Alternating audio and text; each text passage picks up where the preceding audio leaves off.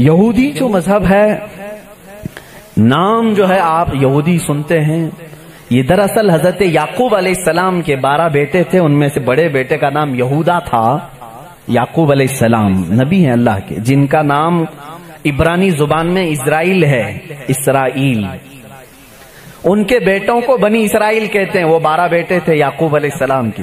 उन्हीं में से एक बड़े बेटे यहूदा थे, या बीच में कोई एक बेटे का नाम यहूदा था।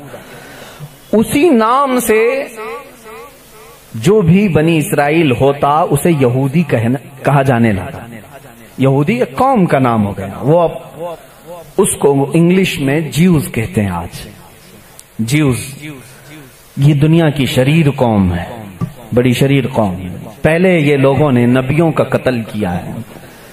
इनके बारे में, क्योंकि मैं वही बातें कर रहा हूँ, जो कुरान कह रहा है। अगर आप कहेंगे बहुत कट्टरपंथी हो जाएगी तो फिर कुरान को भी बंद करना पड़ेगा। कुरान कहता है, यकतुलून नबीन बगैर हक। ये ना हक नबियों का कत्ल करते थे। जब कुरान उनकी बातें बयान कर रहा है तो मैं क्यों ना बयान करूँ? ये शरीर कौन थे, हक बात को कभी तस्लीम नहीं करते थे। बहरहाल, जकरिया सलाम के कातिल ये हैं, यहिया सलाम के कातिल ये हैं और ईसा सलाम को सूली पर चढ़ाने के सारे बंदोबस्त इन्हीं ने किया। ये बात मुझसे नहीं, ईसाइयों से जाके पूछ लो। उनसे पूछना, जीसस को कौन सूली पर चढ़ाया था? जबकि हमारा अकीदा है कि ईसा अली सलाम को सूली नहीं दी गई। हमारा अकीदा कुरान से साबित। है उस पर मैं बाद में गुफ्तगु करता हूँ। लेकिन ये यहूदी कौम बड़ी पुरानी है। याकूब सलाम से चल रही है। ठीक है?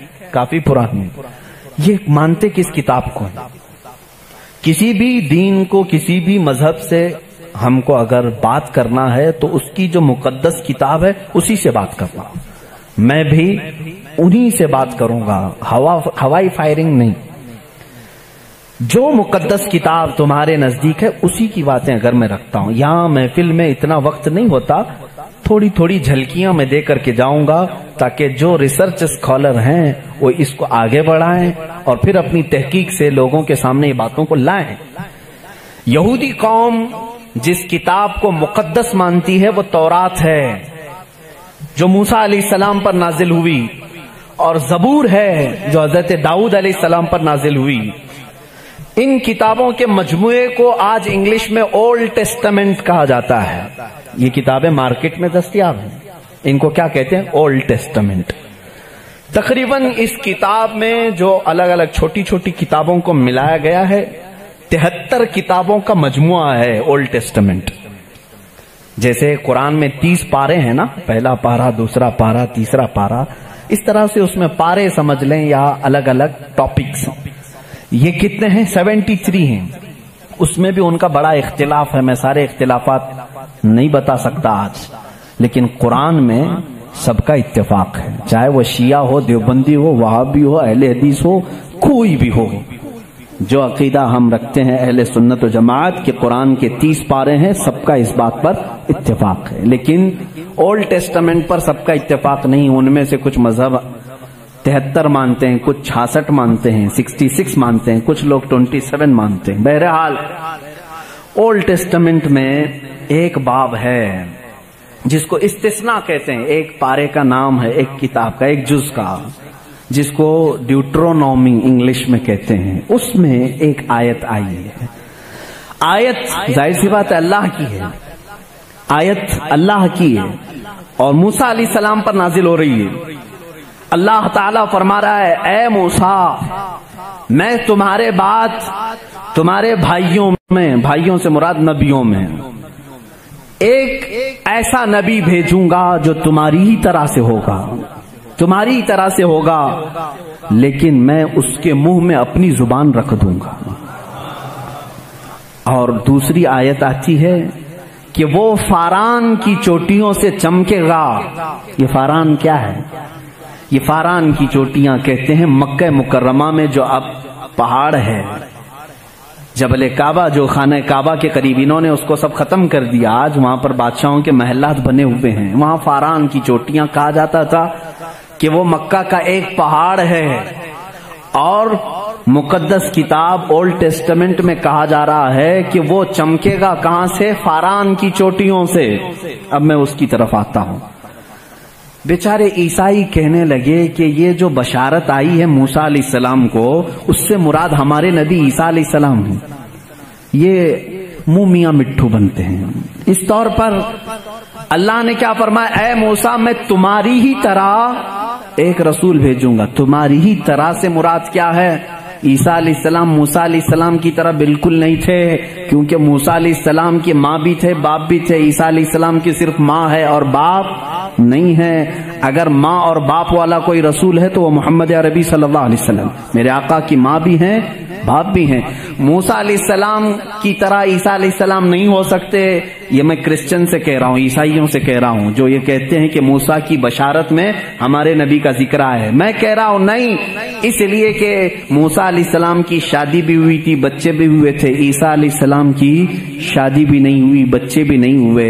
वो तैतीस साल की उम्र में आसमानों पर उठा लिए गए। लेकिन अगर मूसा सलाम की तरह शादी और बच्चे वाला कोई रसूल है, वो मोहम्मद अरबी वसल्लम शादी भी किया है, आपने बच्चे भी फरमाए। और दूसरी आयत, जो मूसा सलाम से ये कही गई कि वो फारान की चोटियों से चमकेगा। मेरे अजीजों, इसका मिजदाक कोई दूसरा नबी हो ही नहीं सकता। मैं आपको तारीख बताऊँ। तारीख बताऊँ फारान कहाँ है? मक्का में है। आदम सलाम से लेकर हुजूर अकरम सल्लल्लाहु अलैहि वसल्लम तक एक लाख चौबीस हज़ार कमोबेश नबी आए, लेकिन उनमें से एक भी नबी मक्का में नहीं पैदा हुए सिवाय मोहम्मद रसूलुल्लाह कोई नबी मक्का में नहीं पैदा हुए, सिर्फ़ मोहम्मद अरबी सल्लल्लाहु अलैहि वसल्लम। मेरे आका सल्लल्लाहु अलैहि वसल्लम 40 साल तक मक्का मुकर्रमा में खामोश रहे अपने अखलाक को किरदार को इजहार करते हुए, लेकिन 40 साल की उम्र के बाद जब अल्लाह की वही आई, कुरान की आयतें आई तो सबसे पहले मेरे आका सल्लल्लाहु अलैहि वसल्लम ने पूरे मक्का वालों को एक दावत देकर जमा किया था। कहाँ जमा किया? यही फारान की चोटियों में। यह पहला मजमा है, पहला जलसा है मेरे आका का। उसी जलसे में मेरे आका मक्का ने सबसे पहली मरतबा ये ऐलान किया, ए मक्का वालों, मैं मोहम्मद अल्लाह का आखिरी रसूल हैं। आखिरी रसूल हूँ। हुजूर अकरम वसल्लम का ये फरमान आलीशान ही, जिसको मूसा सलाम की तौरात में कहा गया कि वो फारान की चोटियों से चमकेगा। अल्हम्दुलिल्लाह, वो रसूल फारान की चोटियों से जो चमका, वो आज तक चमक रहा है। चमक तुझसे पाते हैं, सब पाने वाले। मेरा दिल भी चमका दे। चमकाने वाले बरसता नहीं देख कर अब्र रहमत। बदों पर भी बरसा दे, बरसाने वाले। या रसूल अल्लाह मैं मुजरिम हूँ आका। मुझे साथ ले लो कि रस्ते में है, जा बजा थाने वाले है। हमारे तो रोड पर ही है। बहरहाल, या रसूल अल्लाह हमको अपने साथ ले लें। जा बजा है, थाने वाले। थाने वाले तो समझते होंगे। आला हज़रत ने शेर में ज़िक्र फरमाया। बहरहाल, एक ओल्ड टेस्टमेंट की एक ही बात मैंने कही ज्यूस से ये पूछे जा करके कि ये ज़िक्र आया है मूसा के बाद एक नबी आने वाले, वो कौन से नबी हैं? उनकी ये सिफत बयान की गई है ड्यूट्रोनॉमी इस्तिस्ना में। ओल्ड टेस्टमेंट में ये ज़िक्र आया है, वो कौन है? वो कौन सा रसूल है? आखिर तुम ही बता दो। वो आज तक नहीं बताएँगे। वो कहते हैं कि शायद आने वाला है। इस रसूल के बाद अब कौन और आने वाला है? अब कौन आने वाला है? चलो, इसको नहीं मानते। दूसरी बात मैं कहता हूँ। सुलेमान सलाम को भी ये बहुत मानते हैं। कौन? ज्यूस। यहूदी। जिनको इंग्लिश में सोलोमन कहा जाता है। सोलोमन। हज़रत सुलेमान सलाम को ये सोलोमन कहते हैं। एक किताब यहूदियों के पास और मुकद्दस है। Songs of Solomon songs of Solomon का मतलब हज़रत सुलेमान सलाम जो मुनाजात करते थे अल्लाह की बारगाह में। वो अशार होते थे इब्रानी ज़ुबान के।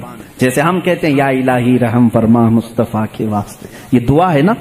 सुलेमान सलाम इस तरह दुआएँ जो करते थे, वो सारे इन्होंने उसको सॉन्ग्स कहा है और उसको जमा किया गया है सॉन्ग्स ऑफ़ सोलोमन नाम से। इसमें तो शक की गुंजाइश ही नहीं। शक की गुंजाइश ही नहीं। क्योंकि हैरत इस बात की होगी, वो इब्रानी ज़ुबान, जिसको आज हैब्रू कहते हैं इसराइल में आज भी बोली जाती है। ये इसराइल जो देख रहे हैं ना आप, जो नासूर है, कैंसर का फोड़ा है पूरे दुनिया के बीच में, यही इसराइल की बात मैं कर रहा हूँ। ये आज भी जो बोली बोलते हैं, वो हैब्रू है। हैब्रू उसको इब्रानी कहते हैं। इस ज़ुबान में आज भी सॉन्ग्स ऑफ़ सोलोमन हज़रत सुलेमान अली सलाम के मुनाजात में ये लिखा गया है सबसे प्यारा सबसे मुबारक सबसे शान वाला जिसकी अल्लाह के यहाँ पहुँच है जिसकी अल्लाह के यहाँ मर्तबत है उसका नाम मोहम्मद है ये कौन कहता था सुलेमान अली सलाम और नाम लफ्ज मोहम्मद आज भी मौजूद है इब्रानी ज़ुबान में आज भी लफ्ज मोहम्मद और उसके साथ लफ्ज इम आया इम कहते हैं बड़ा मोहतरम शख्स जिसकी सारे लोग इज़्ज़त करें। सुलेमान सलाम कहते हैं, वो इम है, इम। इम है। इम का मतलब हेब्रू में है। सबसे ज़्यादा इज़्ज़त वाला। और सुलेमान अली सलाम ने वो करके भी दिखाया। वो तख्त पर जो बैठते थे सुलेमान सलाम, उस तख्त को जब आप हुक्म देते, हवाओं में उड़ तो वो उड़ने लग जाता। जहाँ का आपको सफ़र करना होता, आप सफ़र करते थे। और वो तख्त ऐसा नहीं कि एक उड़न तश्तरी है छोटी सी, बल्कि इतना बड़ा तख्त था कि आपके दाएँ जानी 500 नबी उस जमाने के बैठते थे। बाएँ जानी 500 औलिया उम्मत बैठते थे। और वो तख्त जब उड़ता, आसमानों पर हवाओं को अल्लाह ने उनके लिए मुसखर कर दिया था। और वो जिस तरफ़ हुक्म करते, उड़ता था। एक मरतबा, ये भी इसराइली रिवायात में भी मौजूद है। सुलेमान अली सलाम उड़ते हुए जा रहे थे, यही तख्त पर बैठे हुए। अचानक आपने तख्त को नीचे उतरने का हुक्म दिया और सारे लोगों से कहा, पैदल चलो। तख्त उठाकर ले जाया गया। पैदल चलने लगे। बहुत लंबा अरसे तक लंबी मसाफत, पैदल चलने के बाद फिर आप सवार हुए, फिर सबको सवार कर लिया, फिर हवा को कहा कि इस तख्त को उड़ा ले जाए फला सिमत में। मुसाहिबीन ने पूछा, इतना लंबा, ये इतनी लंबी मसाफत आपने पैदल चलाया, सिर्फ़ वर्जिश कराने के लिए नहीं? सुलेमान सलाम ने जवाब दिया, मैं इसलिए तख्त को नीचे उतार दिया कि ये वो ज़मीन है जहाँ आखिरी नबी आने वाला है। वो मदीन तयबा थी। वो रसूल करीम सल्लल्लाहु अलैहि वसल्लम की आखिरी आरामगाह थी, जहाँ से ऊपर उड़कर जाने को भी सुलेमान सलाम ने बेअदबी तस्वुर किया और इसीलिए वो अपने सॉन्ग्स में, यानी अपने मुनाजात में, जो हुजूर सल्लल्लाहु अलैहि के साथ लफ्ज ज़िक्र करते हैं, वो लफ्ज इम है, यानी दुनिया जिसकी सबसे ज़्यादा एहतराम करे, वो मोहम्मद अरबी वसल्लम है। आओ जीव, आओ यहूदियों, पढ़ो इस चीज़ को, कि मोहम्मद अरबी सल्लल्लाहु वसल्लम का ज़िक्र सुलेमान सलाम ने किया है मूसा सलाम ने किया है।